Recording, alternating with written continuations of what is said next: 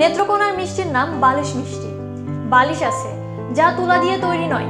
এটি তুলতুলে, তবে তা মাথায় না দিয়ে খাওয়া হয়। আমাদের নেত্রকোনা সংবাদদাতা বিজয় দাসের পাঠানো প্রতিবেদনে বিস্তারিত জানাচ্ছেন শাশ্বতী দে মিথিলা। বালিশের ওপর মাথা রেখে আমরা নিদ্রায় যাই।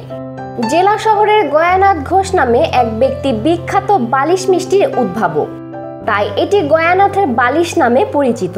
বালিশ মিষ্টিটি নিয়ে এই অঞ্চলের মানুষের মধ্যে প্রচলিত লোক ছড়া দিয়ে লেখাটি শুরু হয়েছে। বহু বছর আগে নেত্রকোনা শহরের বারৈহাটা সড়ক এলাকায় গয়ানাথ মিষ্টান্ন ভাণ্ডার নামে মিষ্টির দোকানটি ছিল। গয়ানাথের স্বপ্ন ছিল নতুন মিষ্টি তৈরি করার। একদিন তিনি বালিশ আকারের কয়েকটি মিষ্টি তৈরি করেন। ক্রেতাদের প্রশংসা পেলেন।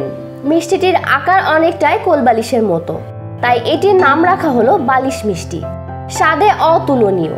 অল্প দিনেই ছড়িয়ে পড়ে এর সুনাম। একসময় গয়ানাথের নামটিও ছড়িয়ে যায় মিষ্টিটির সঙ্গে। এখন জেলা শহর সহ বিভিন্ন উপজেলায় বালিশ মিষ্টি তৈরি ও বিক্রি হয়। এমনকি জেলার বাইরেও অন্যান্য জেলাতেও এই বালিশ মিষ্টি আদলে নকল বালিশ মিষ্টি তৈরি হচ্ছে।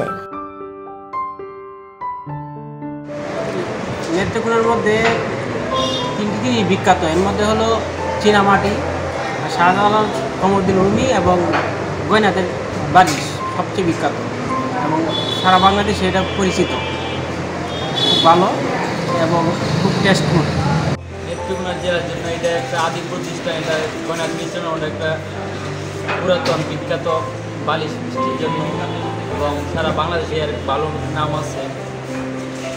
এই মিষ্টান্ন ভাণ্ডার এবং গুণগত মানও খুব ভালো।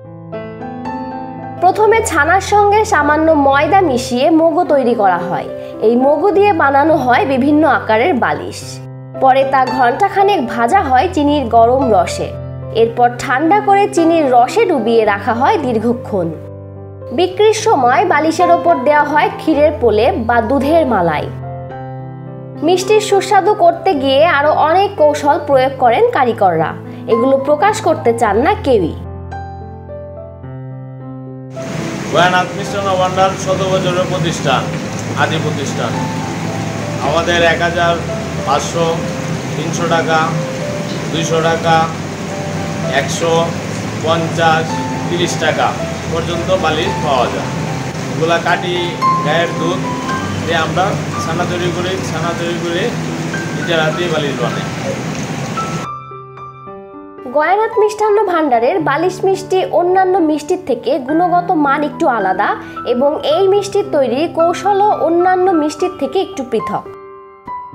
Desk report, Bangladesh Reuters, Netrokona. প্রিয় দর্শক, এতক্ষণ আমাদের সাথে থাকার জন্য ধন্যবাদ। আর আমাদের নিত্য নতুন খবরাখবর পেতে ভিজিট করতে পারেন www.bdreuters.com এবং Facebook page Bangladesh Reuters. Like দিয়ে রাখতে পারেন এবং সাথে ইউটিউব চ্যানেলে সাবস্ক্রাইব করতে পারেন।